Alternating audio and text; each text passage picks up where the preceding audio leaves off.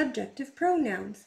Me, you, him, her, it, us, you, them.